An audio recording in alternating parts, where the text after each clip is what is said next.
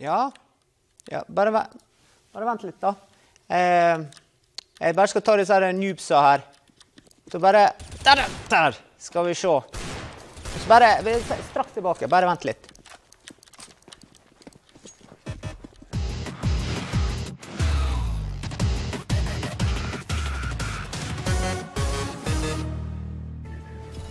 Ja, velkommen til Sportsrevyen, der vi skal dukke inn i ei litt anna vær for mange.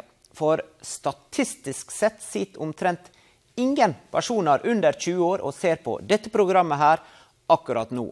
Mange av de bruker heller søndagskvelden på dataspill. Spill, ja. Det har vært ei rivende utvikling.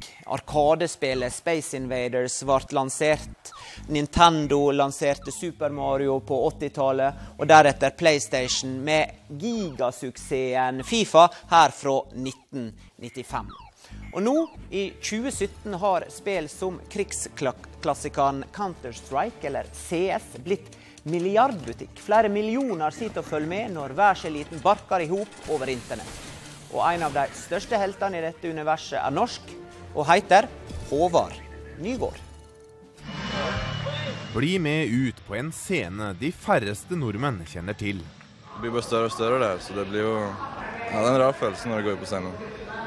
Det det. Det du ser her, er på få år blitt en milliardindustri. Nemlig skytespillet Counter-Strike, forkortet til CS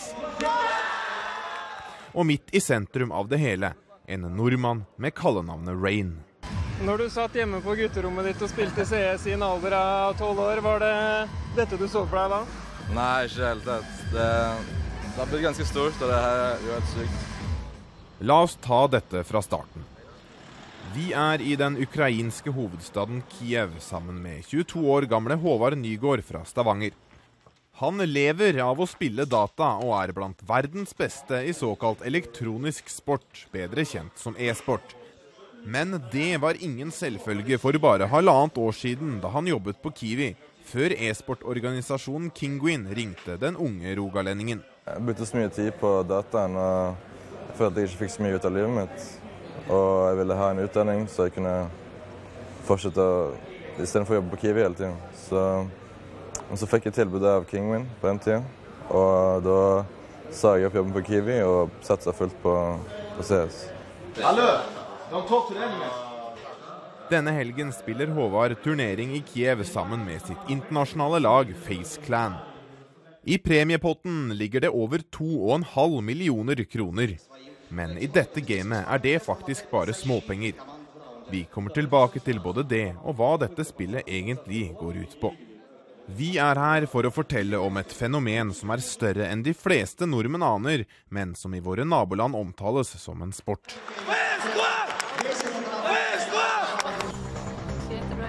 I årets svenske utgave av 'Mesternes mester' deltok f.eks. den tidligere e-sportspilleren Emil Christensen. Kom igjen, Emil!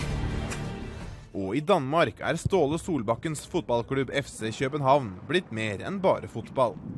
I januar lanserte klubben sitt eget e-sportlag. Stort og meget ambisiøst projekt. E-sport for oss er jo en interessant sportsgren fordi det kommersielle og sportslig øh, utvikler seg globalt sett. Og det er en posisjon vi gjerne vil være en del av. Og nå har ikke parken bare en fotballbane som er populær.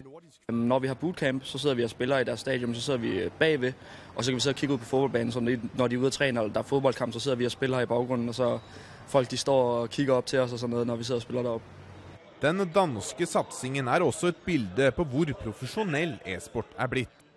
Spillerne på FCKs e-sportlag North forteller om et tilbud de bare kunne drømme om i sine gamle lag. Vi hadde ikke vår øh, fysioterapeut, vi hadde ikke vår øh, nutritionist, ham der lager maten til oss, ham der styrer hva vi skal spise, og vi hadde heller ikke vår trener. Har, nå får vi gratis fitnesskort, og så får vi en spesiell trener, og det hjelper oss med å trene.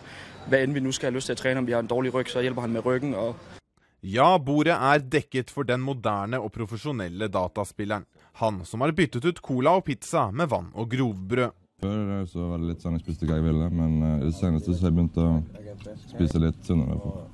Men alt dette er fortsatt fremmed for mange nordmenn. Vet dere hva e-sport er for noe? Nei. Aner ikke. Å, eh, er det som MMA? Helt fremmed for meg. Fullstendig fremmed for meg. Selv om motstand er stor i foreldregenerasjonen, er e-sportspillerne stjerner like rundt hjørnet også her hjemme. I spillsenteret House of Nerds i Oslo vet de fleste hvem Norges ukjente e-sportkjendis er.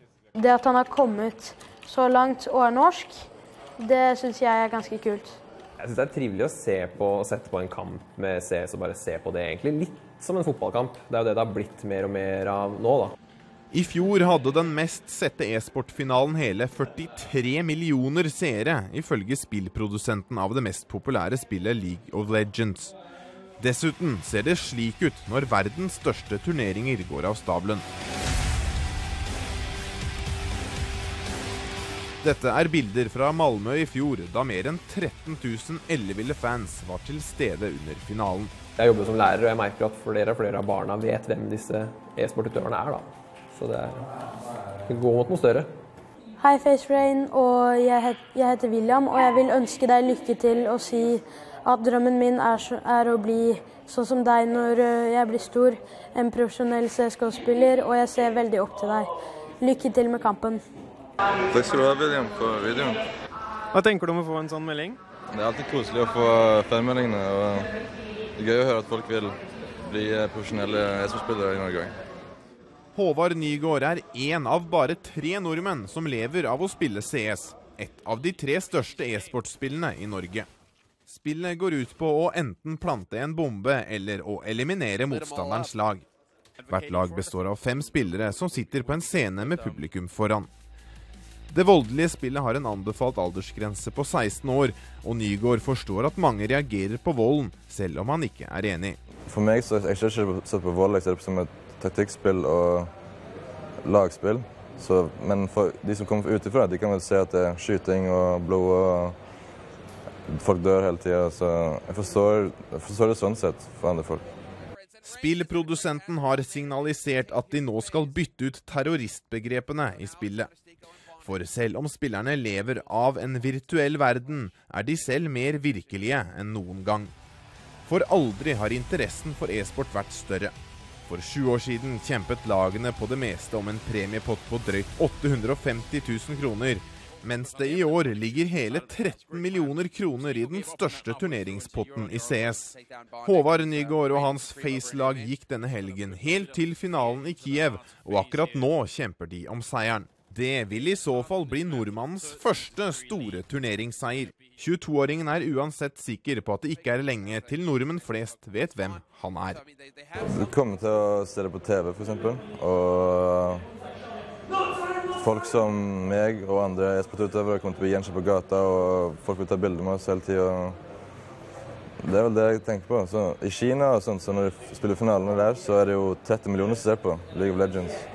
Og det er jo mer enn vet, det er mer enn det alt Norge har, så det er, jo, det er stort. Hvordan det gikk med Håvard Nygaard-gjengen, får du se i Kveldsnytt senere i kveld. Dette her er de fem monumenter i internasjonal sykkelsport. De mest heftige rittene av de såkalte klassikerne. Paris-Roubais er kanskje det mest prestisjefylte i kvintetten. Et ritt som opprinnelig gikk langs frontlinja til første verdenskrig. Ingen nordmann, korkje Edvald Boasson Hagen eller Alexander Kristoff har noen gang vunnet